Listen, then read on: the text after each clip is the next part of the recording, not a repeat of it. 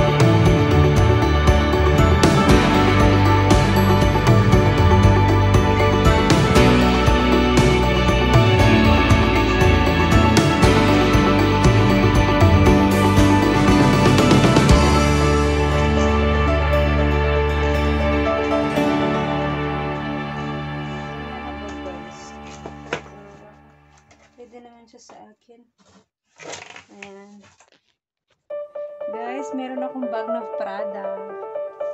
So, lang ko sa akin na bag. Brown siya. Pero